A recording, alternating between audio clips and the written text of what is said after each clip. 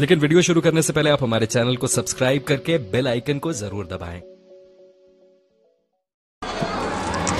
अवैध शराब के निष्करण बिक्री परिवहन के रोकथाम अभियान के तहत गड़ौरा व ठूठीबारी के विभिन्न स्थानों पर दबिश दिया गया।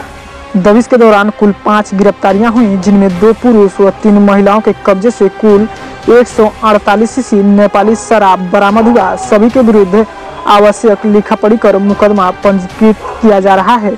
जनपद महाराजगंज के ठूठीबारी से मोहन चौधरी की रिपोर्ट।